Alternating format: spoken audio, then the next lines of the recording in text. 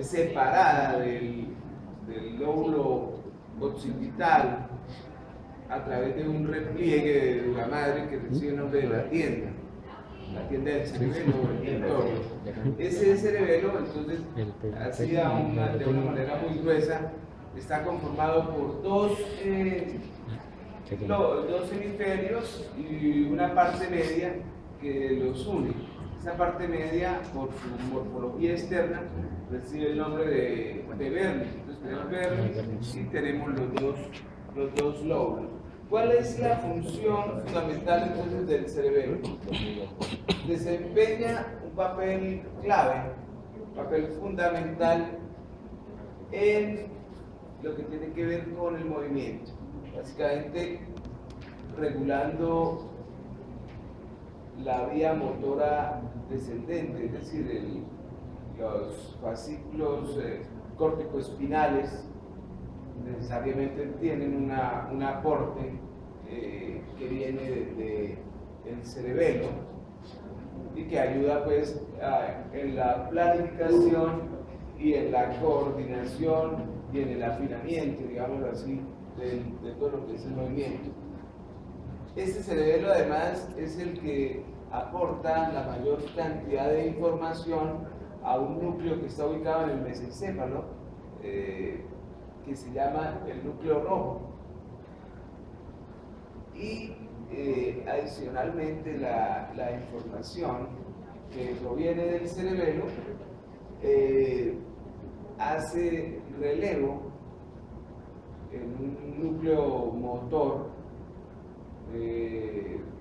o un núcleo de relevo, de relevo, motor que está ubicado en el, tálamo.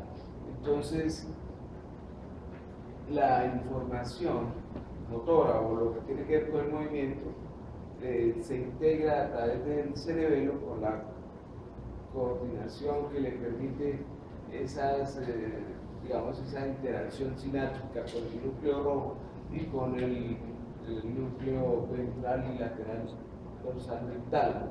¿Y de dónde hace comunicación con la, con la corteza cerebral? Entonces, en, la corteza cerebral existen dos áreas, el área motora o área 4 y el área premotora o área 6. Entonces, esa información que desciende o sea, que haría parte de esos fascículos córtico-espinales, no baja directa, sino que previamente tiene que hacer lo que les decía, el relevo motor a nivel talámico y al hacer ese relevo motor va a recibir la información proveniente del cerebro.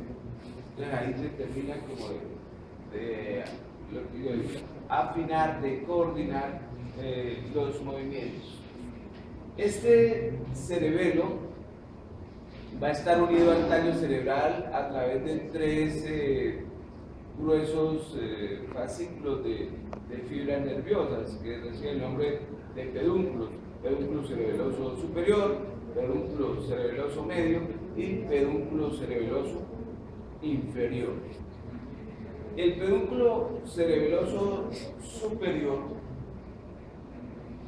también recibe el nombre de brachium conjuntivo o brachium conjuntivo y básicamente a través de ese vínculo cerebeloso superior la comunicación que se da con el cerebelo es a través de fibras o axones eferentes, es decir, información que sale realmente originada en la corteza cerebelosa y sinaptada en los, en los núcleos profundos del cerebelo y que van a ir a los núcleos pónticos. Entonces, esas fibras eh, son sobre todo de tipo eferentes que salen, pero sin embargo va a haber un componente también de fibras aferentes, de fibras que van llegando. El pedúnculo cerebeloso medio también recibe el nombre de brachiopontis y entonces es información que está pasando del tallo cerebral hacia el eh, o pues del, puente o del tallo cerebral, de la región del puente, hacia el cerebelo, hacia núcleos profundos, principalmente el núcleo dentado, y al contrario, del cerebelo hacia el puente. Entonces ahí va a haber una doble mezcla o una mezcla doble de aferentes y eferentes, existiendo una, una mayor proporción de fibras aferentes, es decir, del puente hacia el cerebelo. En la anterior, en el superior, eran también mixtas, pero lo que predominaba eran los eferentes.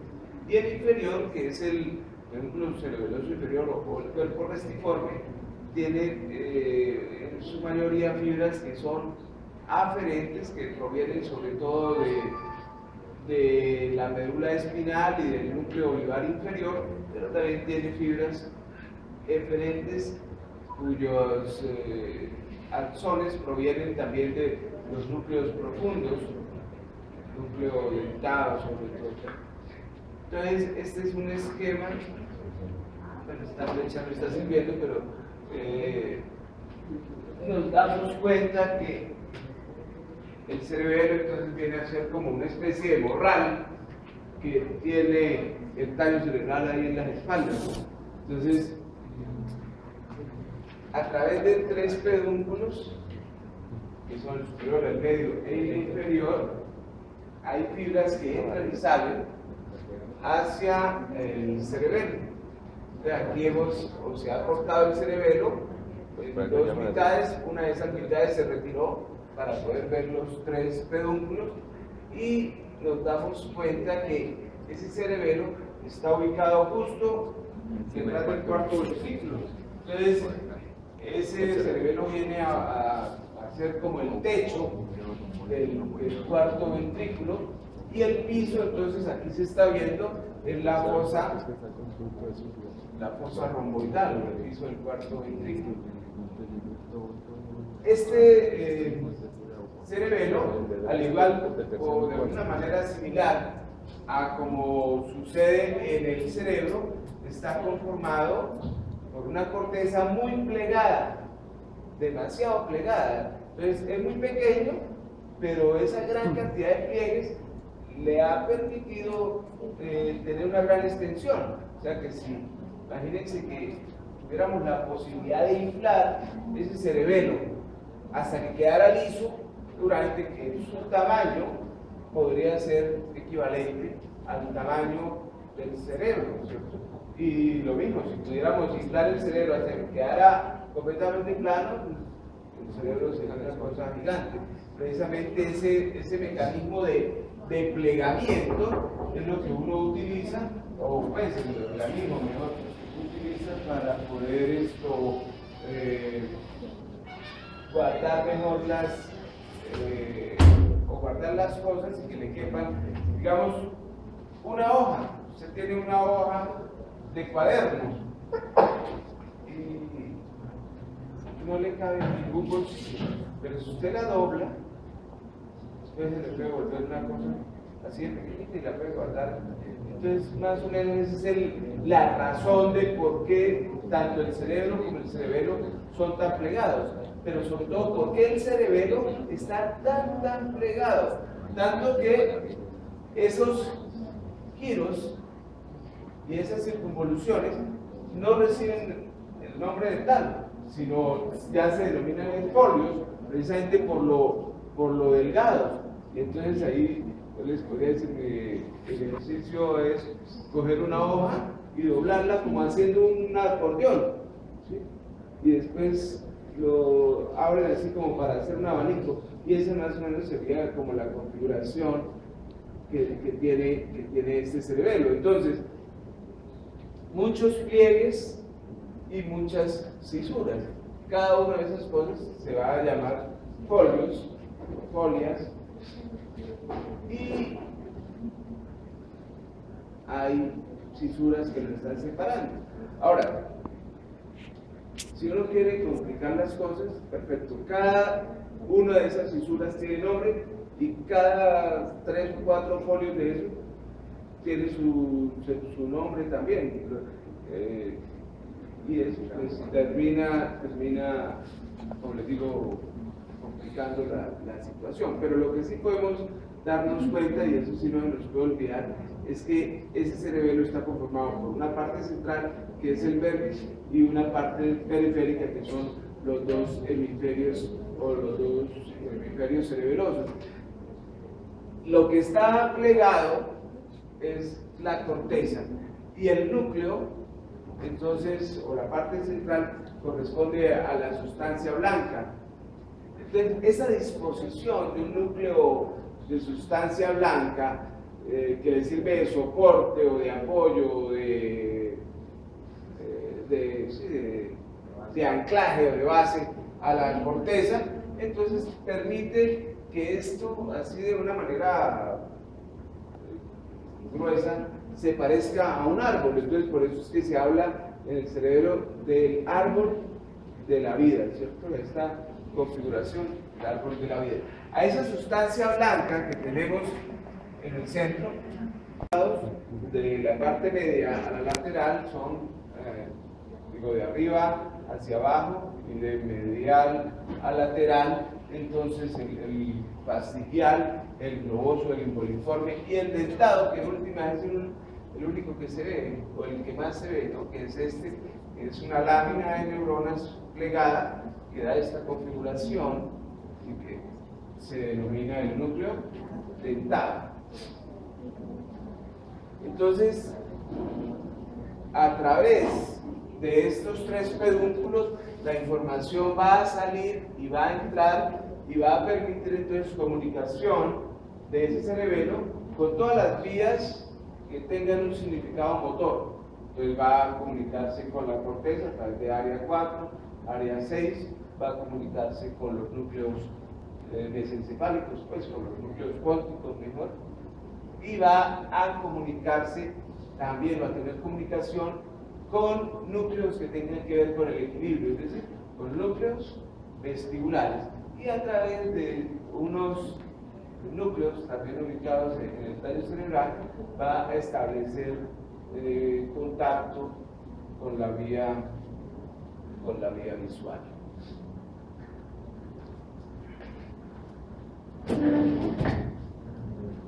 Entonces, eh, en esta otra imagen podemos ver la disposición de esa fibra, porque uno por más que quiera, con un corte de cerebelo o un corte de tallo, y pues no, simplemente va a ver los pedúnculos, pero no va a saber en qué orden, en qué sentido o en qué dirección va la fibra. Pero aquí, como es un esquema, pues uno ahí sí puede ver efectivamente cómo están dispuestas los, eh, los diferentes haces de fibras que entran y salen al cerebelo y que conforman eh, los pedúnculos cerebelosos. Y aquí tenemos el aspecto macroscópico. Les decía, eh, es muy difícil uno hablar de un tema sin necesariamente de alguna manera tocar el otro. Entonces, aquí me refiero es que hablar de histología sin antes hacer una, un acercamiento de lo que es la macroscópica, pues queda un poco difícil. Entonces, aquí tenemos un corte del cerebelo que lo ha separado del tallo cerebral. O sea, esto que tenemos aquí es el, cuarto ventrículo. Y están los ventrículos cerebelosos. Y entonces vemos en todo el medio, y ese esquema lo muestra muy bien, la forma del el gusano o el dermis que está en el centro. Y a los lados está lo que son las amígdalas cerebelosas. Esto se puede ver más macroscópicamente. Pues no sé, de pronto lo verán en fisiología, si no, ya lo vieron, pero yo creo que usted ya lo imagina. Al quedar hacia adelante el tallo cerebral, a esta misma altura, dentro del tallo cerebral, se encuentran ubicados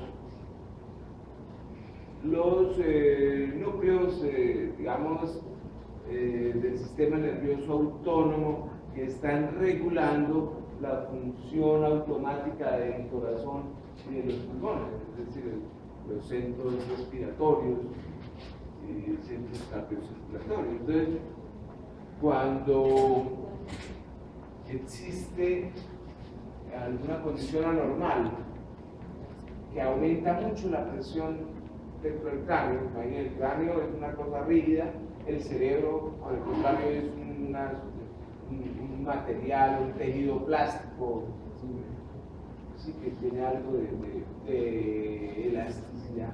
Pero ahí hay otros elementos, la sangre, los vasos sanguíneos. Entonces, imagínense que haya algo dentro de la cabeza que aumente la presión. Puede ser una hemorragia, puede ser un tumor, Entonces,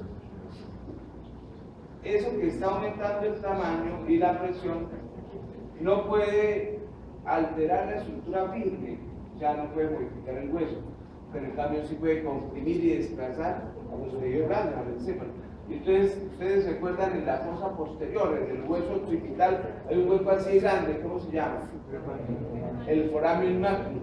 Entonces, cuando se aumenta muchísimo la presión, aparecen los fenómenos de reacción cerebral que lo que tratan es de sacar el cerebro y el encéfalo del cráneo. Y al final, lo más grave que puede pasar es que el cerebro y el tallo cerebral traten de salirse por, el, por ese foramen. Entonces, estas amígdalas están en el límite del foramen. Entonces, cuando esto se aumenta mucho, la presión, este cerebro se sale. Y estas amígdalas, al salirse, quedan atrapadas por el foramen magnum y al quedar atrapadas, ellas rodean al tallo cerebral. Y al quedar atrapadas, ellas, rodear al tallo cerebral, paralizan los núcleos o los centros de control automático de respiración y del corazón. Entonces aparece eh, la muerte como consecuencia de un daño a este nivel. Ustedes van a oír un término muy frecuente, que se murió herniado. Herniado, herniado, se murió herniado. que no es una hernia ni el ombligo ni, ni inguinal, sino es una hernia de las amígdalas cerebrosas. Generalmente eso es algo que ocurre ahora con, demasiada frecuencia, porque mira todo el paciente traumatizado, trauma principal, todos los que mueren en la universidad, todos tienen hernia de amígdalas cerebrosas por cuenta de, de, de, ese, de,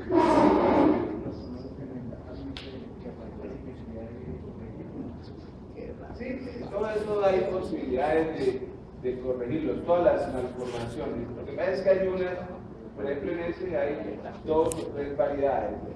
Esto depende del, grado de del grado de, de, alteración que pueda darse. en general hay unos que se pueden corregir, otras Pero es de las críticas que se pueden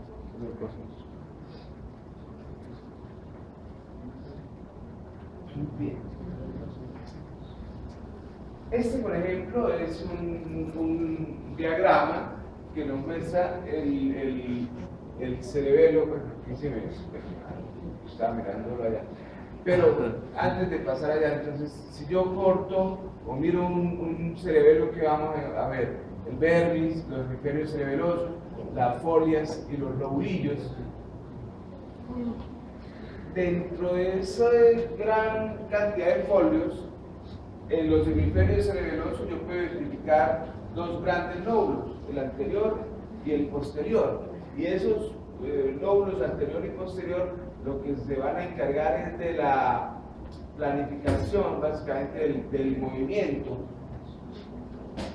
y, sobre todo del movimiento de, de las partes del cuerpo que en realidad participan del movimiento extremidades y en menor medida los músculos del tronco. Mientras que el lóbulo, flóculo nodular, que es lo que está ubicado en el vértice del cerebelo, es en la parte antigua desde el punto de vista evolutivo, es el archicerebelo, tiene que ver básicamente con el mantenimiento del equilibrio y con control del movimiento de los ojos.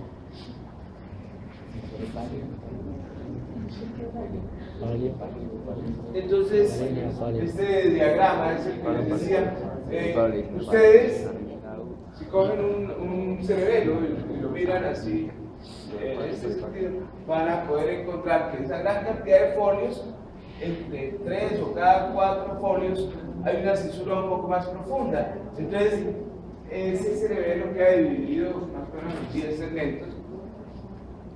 Cada uno de esos tiene un, nombre. Está la língula, el lóbulo central, el culmen, el declive, el folium, el tuber, la pirámide, la úvula y el lóbulo. ¿Cierto? Y entre cada una, separándolos, hay susuras. Entre la língula y el lóbulo, la susura presental. Entre el lóbulo y el culmen, la susura preculminal. Entre el culmen y el declive, la susura prima. Entre el declive y el fondo, la posprival. Que sea ya muy dedicado el que trabaja en el de pronto podría encontrarle el sentido, ¿no? Pero sirve mucho es para comenzar. Eso es una especie de guillotina. Bien. Bien, este ya es otro esquema, pero nos muestra lo mismo, el aspecto del árbol de la vida, ¿no? Ustedes ven aquí el árbol de la vida, el cuarto ventrículo y las estructuras del tallo cerebral y del encéfalo también se pueden observar allí el tálamo, el subhipotalámico, los cuerpos mamilares, o, o, la lámina cuadrigémica, cosas que ya no hacen parte del cerebro. Y si hacemos un corte horizontal, o mejor transversal, observamos esto, el cerebro ya se nos va a parecer ya no un gusano, sino como a una mariposa con las alas extendidas, ¿cierto? Podría tener algo así de Recuerden que todo esto es de mucha imaginación. Claro, es que ahorita, si, si a nosotros nos soltaran sobre la Tierra en este momento con todo lo que hay, computadores y nadie arriba. Ese es un poco más, digamos, difícil, ¿cierto? Incluso para uno, pero el, el, el que está con algadación en el cerebro no es capaz. Y entre más trata de acercarse, lo que termina es temblando. ¿sí? Porque no es capaz de procesar. Entonces, por ejemplo, esto es, es algo que uno teóricamente debería hacer. Pero, y lo, lo mismo lo hace con los ojos cerrados que con los ojos abiertos. No, pero mire, no, no esa, esa, esa es más difícil, es más fácil la de la Esta de aquí arriba es más complicada. Pero si es complicado para el paciente, es muchísimo más complicada si verdaderamente está enfermo. Entonces, son pruebas esas que nos están eh, uh, diciendo esa conexión cerebro-cerebelo. Otra, eh, eh, movimientos que son repetidos. Entonces, es un paciente con problemas de cerebro no es capaz de hacer movimientos repetidos alternados. Y eso es a través de esa vía cerebro-cerebro. Y la otra es la vía o el otro componente de la anatomía funcional, vestíbulo cerebro. Quiere decir que el cerebro también está conectado con el aparato vestibular, que tiene que ver con el equilibrio, que están los núcleos vestibulares, que tienen que ver con el equilibrio, conectan con el cerebelo, pero ya no lo van a hacer hacia las porciones laterales del cerebelo, es decir, hacia los hemisferios, sino hacia la parte central, que es el flóculo nódulo o el vértice. Con eso es que tiene entonces, si está alterado, esta persona va a tener eh, alteración del equilibrio. Entonces, el que tiene problemas cerebelosos, con un compromiso particularmente del componente vestíbulo cerebeloso, es decir, el nervio, Entonces el, paciente tiene que andar con los pies bien separados, con las manos como abiertas, con la adelante, y que si le decimos que cierre los ojos, se va a, caer. Aunque cuando eso sucede, de pronto está afectada otra vía. Esa ya es más eh, complicada, no sería, el daño no sería tanto severoso, sino debería ser más eh, vestibular, que es con las personas que hacen vértigo.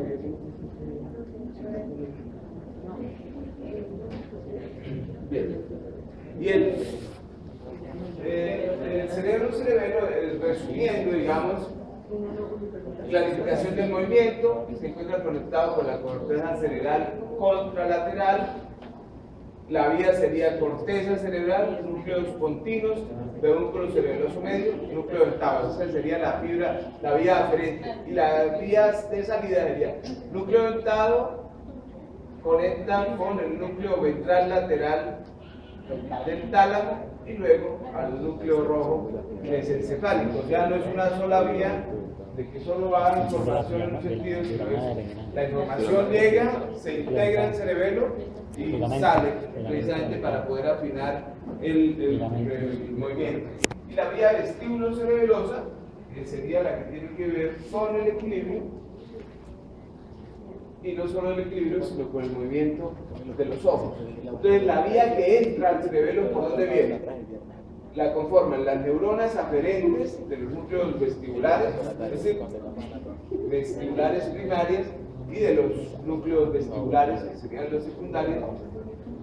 El componente cortical, eh, y me refiero aquí al componente cortical del cerebelo, o sea, no el cortical cerebral, sino cortical cerebeloso.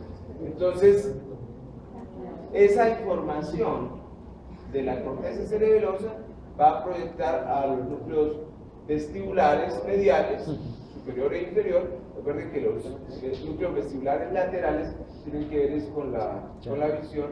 Y esa conexión del cerebelo con los núcleos vestibulares da origen al fascículo vestibular, vestíbulo espinal y a este otro fascículo importante que es el fascículo longitudinal medial que tiene mucho que ver con las eh, con la eh, coordinación digamos de la mirada de, conjugada, es decir, de la mirada de ambos ojos, y particularmente con lo que es con la mirada vertical o con la mirada oblicua, en general con la organización de las miradas. ¿Cómo? Mm, es que a qué se referiría con dismetría ocular. O sea, que hace así, no, no sigue el peor. No, si eso fuera, eso sería más una, una, una alteración del campo visual. O sea, que uno lo explora es haciendo la campimetría. Ahí uno lo que estaría valorando es cómo están los diferentes cuadrantes o las mitades, la temporal, nasal, el lado derecho, el lado izquierdo, para ubicar una lesión. No, esto eh, a lo que se refiere, sobre todo el fascículo eh, longitudinal medial, es que allí se va a integrar toda esa información de los nervios promotores para que se pueda eh, dar una perfecta coordinación de cuando yo miro para cualquier lado. Por ejemplo, yo miro para allá y ¿qué, quiere, qué tiene que hacerse para que yo pueda mirar hacia allá y mire bien? Este músculo recto externo, tirar del ojo para allá. El recto interno de ese mismo ojo afloja. Porque si no aflojara, por más de que yo quisiera mirar, no lo podría hacer. Y el otro lado, ¿qué hace? Ese no se queda quieto. El recto medial tira hacia adentro y el recto lateral afloja. Entonces ahí hay una perfecta coordinación en lo que se llama la, la, la mirada conjugada. Lo mismo si yo miro hacia abajo, tengo que jalonar ambos eh, rectos inferiores y aflojar ambos rectos superiores. Y si las miradas son hacia adentro o hacia afuera, tengo que entrar a participar también con los, con los músculos oblicuos, los oblicuos superior e inferior. Y eso lo, lo logro a través de este fascículo, que es el que ayuda a integrar eh, en parte y es muy importante, sobre todo cuando estamos evaluando una persona en, estado de coma, que eso se altera, se corta. Y entonces yo evalúo a alguien que ya tiene un daño a nivel del, del mesencéfalo, del daño cerebral, por un trauma principal, y para donde yo le voy a la cabeza, allá van los ojos, y yo lo voy para un lado, para el otro, queda como los ojos de muñeca, ¿cierto? Entonces, esa persona ya perdió esa vía, que quiere decir que habría, podría hacerse pruebas vestibulares, a ver cómo se comporta los ojos cuando yo le hago pruebas vestibulares y de una manera fácil, por lo menos en los pacientes que están en estado de coma o inconsciencia, con agua. Entonces yo le echo agua caliente en un oído teóricamente eso se va a estimular por la vía vestibular y las conexiones con, los ojos, hace que eh, haya un movimiento rápido hacia el lado donde le está cayendo el agua caliente a nivel vestibular. Entonces pasaría eso. O lo contrario, yo le puedo echar agua fría, entonces en lugar de hacer un movimiento de acercarse, se aparece un instante hacia el lado contrario eso me dice, ah, bueno, esa vía está buena. Pero si le hecho agua caliente, agua fría, allá sigue en el puesto, eso está perdido, está desconectado. Eh, entonces, sigamos, sigamos. La histología del cerebelo, entonces vamos a encontrar cosas que ya conocimos, y es que hay tres capas, molecular, granular y de Pero con estudios de sales de plata y de oro, eh, Santiago Ramón y Cajal en un principio logró establecer que había cinco capas, cinco células diferentes, las células de Purkinje, las células glandulares, las células de cesta, la célula estrellada y la célula de Golgi. Y cacharreándole a todo eso, además pudo establecer que además de esas cinco eh, de esas cinco células existían unas fibras, unas fibras que eran las fibras trepadoras y las fibras musgosas que generalmente traen información desde abajo, es decir, fibras que vienen de mm, la médula espinal, fibras que vienen de los núcleos presentes en el tallo, fibras eh, que provienen de los núcleos olivares inferiores y que van a subir eh, por la sustancia blanca del, cerebelo buscando las eh, prolongaciones dendríticas de las células del Purkinje. Entonces, que pasemos lo que son las conexiones del cerebelo con las demás cosas, cerebro, cerebro médula espinal, núcleos vestibulares, y aquí un resumen en, colores. Esto es lo que descubre eh, Santiago Ramón y Canal hace 100 años. Con esas sales, no solamente identificó los diferentes tipos de, de células, sino que se dio cuenta que había unas fibritas y esas fibritas, dos eran muy importantes. Unas, las fibras musgosas y otra, la fibra trepadora. La fibra trepadora venía a, buscar la célula de Purkinje y se enredaba en la célula de Purkinje como lo hace una liana eh, o un bejuco alrededor de un árbol.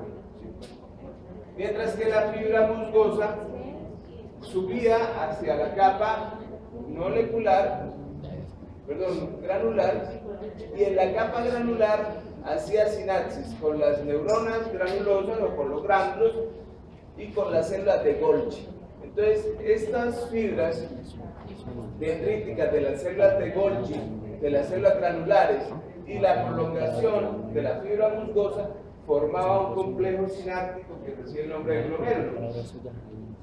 Y luego de ahí salía una fibra que al llegar a la capa media, eh, a la capa media, se dividía en dos y formaba una fibra que seguía un trayecto paralelo a todas las fibras similares a ella. Entonces formaba las fibras paralelas. De esa manera, una fibra trepadora podía envolver de una hasta 10 fibras de Purkinje, pero una fibra musgosa podría llegar a establecer sinapsis con millares de células de Purkinje, porque resulta que las células de Purkinje, ellas no, no son como un árbol, sino básicamente, si yo la miro de frente veo las, las prolongaciones pero si la miro de lado es de esta forma, es como un abanico, No son saliéndole prolongaciones en todos los sentidos, es en un solo plano. Entonces, eso hace que las fibras paralelas, aquí puede haber muchísimas fibras paralelas, que van atravesando esta, esta, y todas las fibras, todas las células de Purkinje que estén en ese mismo sentido. Entonces puede una sola fibra paralela establecer sinapsis con una gran cantidad, miles, millares de, células de Purkinje. Aquí hay unos, eh, algunos eh, imágenes que nos muestran lo que vio Purkinje, eh, Purkinje no, o sea, Cajal. Él miró esto, son sus, sus dibujos originales, copiados pues, de, sus manuscritos, donde se ven las células de Purkinje y las prolongaciones. Aquí están lo mismo, las células de, de la capa eh, granular en relación con las células de Purkinje. Aquí vemos lo que él denominó el glomérulo sináptico, donde están la capa, la célula eh, la prolongación de la célula molecular, de la célula de Golgi y, de, la prolongación de la célula musgosa, buscando a una célula de Purkinje. Fíjense arriba cómo se bifurca como en una T, donde lanza unas fibras que van a ir paralelas a, la, al folio y, y en el sentido que la vemos ahí la fibra de la célula de Purkinje se ve así. Si la miráramos en el otro sentido, se vería como un abanico, pero a la fibra paralela ya no la veríamos a lo largo, sino veríamos un punto. Otras imágenes que hizo, que vio Purkinje, eh, las células de Purkinje, que eran las que él más veía, las que él más le llamó la atención, y fíjense, eh, con coloraciones de oro, cómo veía el, glomérulo sináptico, ¿no? De ahí ven el glomérulo. Estas son imágenes eh, usando eh, diversos tipos de, de tinciones que emiten fluorescencia en microscopios de contraste de fase. Entonces ustedes ven ahí que se forman unas imágenes bastante llamativas. llamativas. Esta, por ejemplo, que algo parecido como un como lo que sale como un Van Gogh. Con la, entonces, mire, bueno, esta es otra, otra, con fluoresceína. Y mire, este, este sí es un Van Gogh, un cuadro del pintor holandés, pero donde esa parte, esos tres pejucos, los arbolitos de la mitad, podría uno compararlos con, con, la, con la capa de células de Purkinje, o por ejemplo estos árboles también de otro, de otro cuadro de Van Gogh, que podrían ser como las, eh, las células esas de, de Purkinje, las prolongaciones. Bien. Esto es simplemente para que nos acordemos ya es como a manera de colofón para terminar, pero hay una cosa que nos puede ayudar a recordar siempre cómo es un síndrome cerebral. Hola, Cesarina. Eso lo, se los puedo recomendar a manera de laboratorio. Usted va y emborracha y va mirando cómo se va comportando desde el punto de vista del movimiento. No más.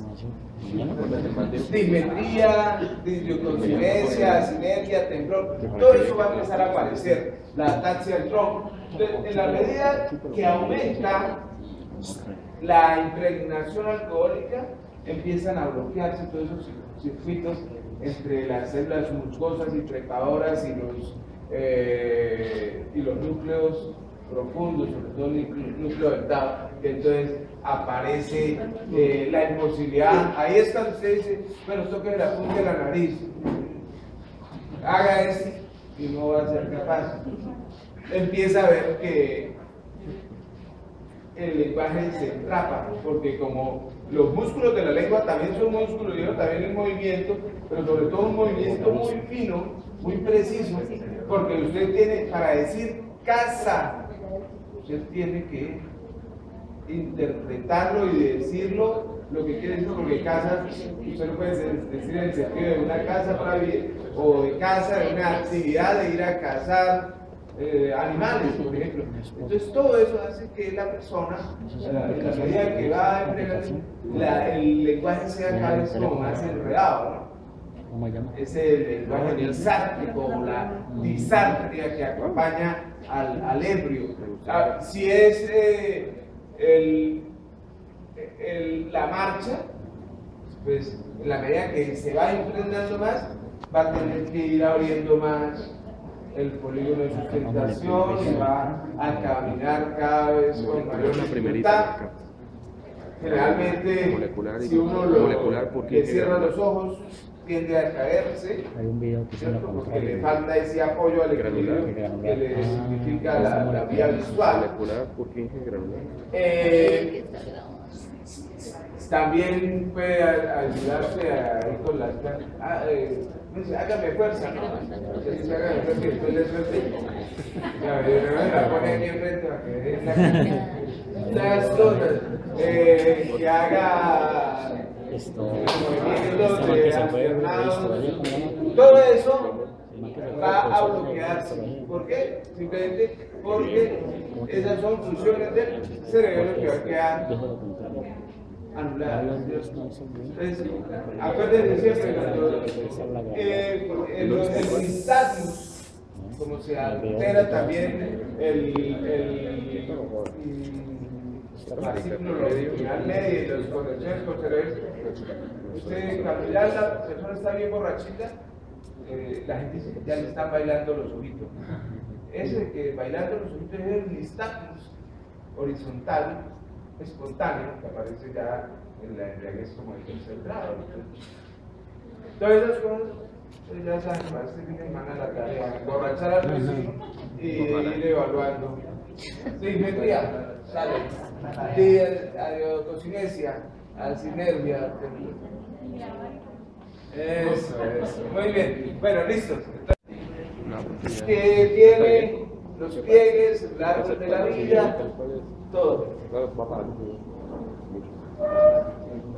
Y están los ganglios, entonces está el más grande de todos, que es el núcleo dentado, y el que está más arriba y, hacia el techo, que es el fastigial, o el techo, el globoso, el imponiforme y el dentado, los cuatro. Globoso, eh, perdón, fastigial, globoso, uniforme y dentado. Y el árbol de la vida. Desde el punto de vista funcional, o sea, cada, eh, usted es independiente o, o, a veces dependiente.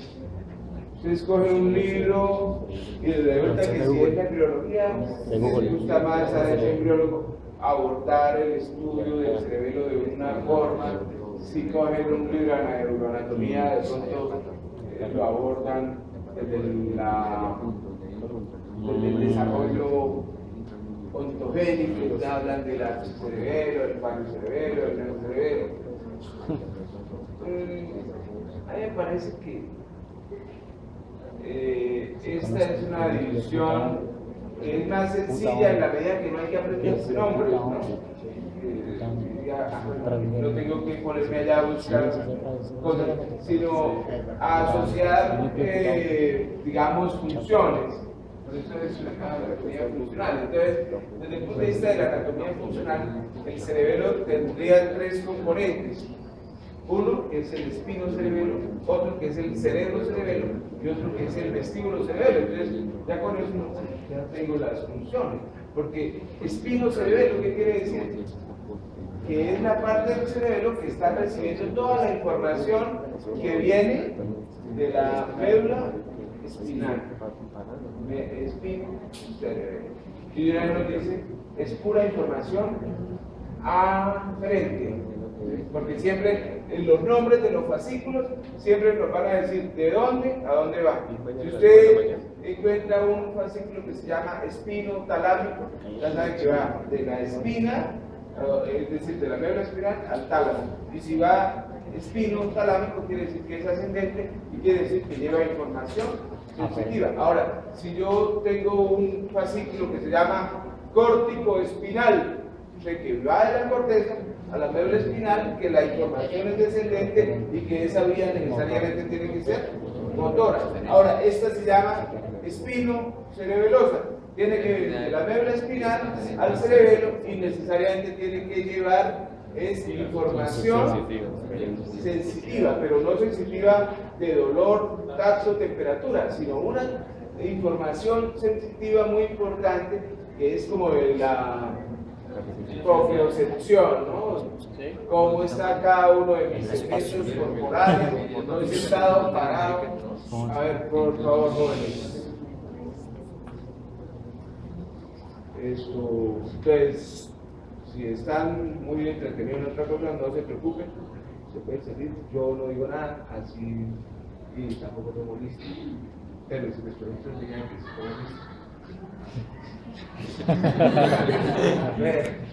Eh, entonces, esa es la vía espino-cerebrosa. Recibe información sensorial cerebro espinal y nos da esa información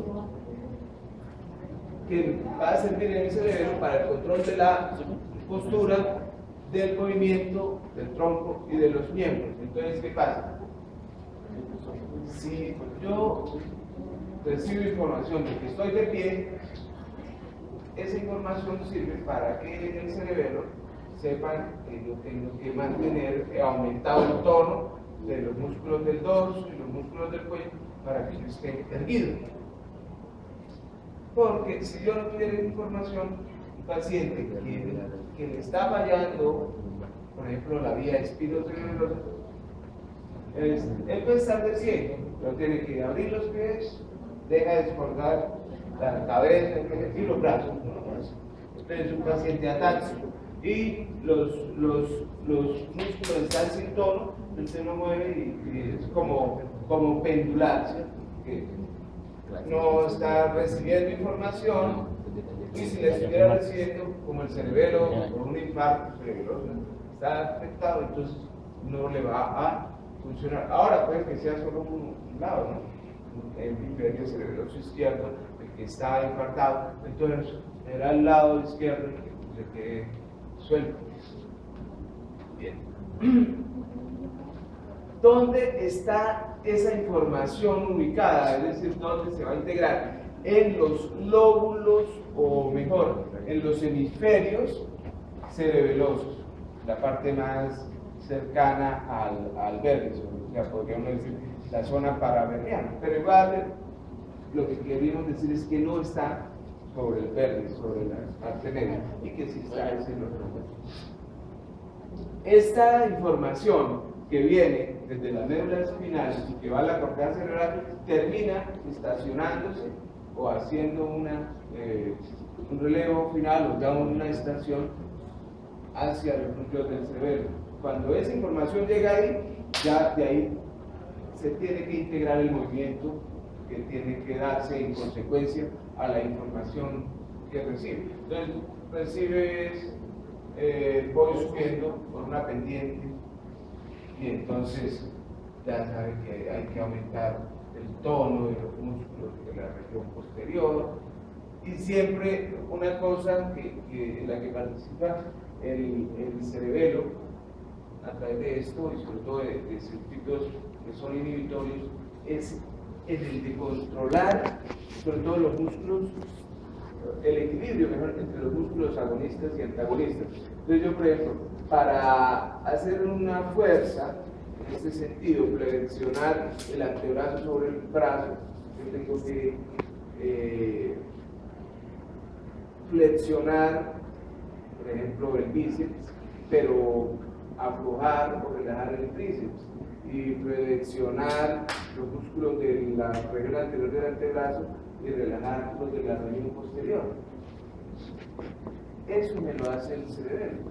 Si yo tengo afectado eso, eh, yo le puedo decir a una persona, eh, haga esto y trate de flexionar, que uno le opone resistencia y lo suelta. La gente se, va a volcar porque si, si tiene alterado el, la, el, la vía cerebrosa. Bien.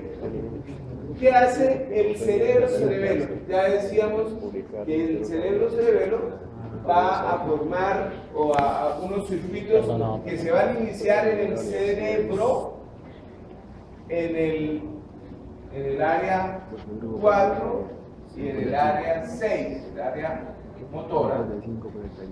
Esa información de la corteza cerebral va hacia los núcleos del puente, es decir, hacia los núcleos continuos. Por el hecho de que haya una primera, eh, que el impulso se haya iniciado en el área motora de la corteza cerebral, eso quiere decir que ahí ya es planificación del movimiento yo voy a hacer esto, a alargar la mano, a poner aquello. Y el cerebro simplemente lo que va a hacer es afinar ese movimiento que ya está planificado, es decir, colaborar en esa planificación. Eh, también tiene proyección al núcleo dentado y, y una cosa es que esa planificación el cerebro va a ayudar a que sea tan precisa que si está dañada la vía cerebrosa no se va a poder hacer.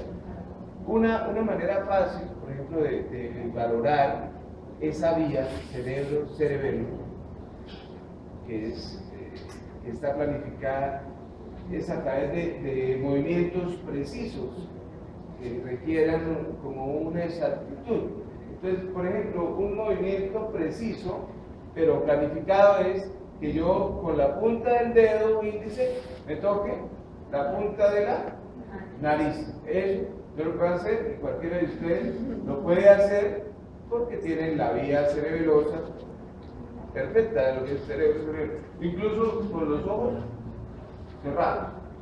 Si una persona que tiene alteración del cerebro, ya usted no lo sabe, pero lo está examinando y le dice, bueno, tóquese la punta del dedo, con la punta de la nariz o al contrario, y empieza con los abiertos no es capaz, pero usted le dice que con los ojos cerrados menos. O otra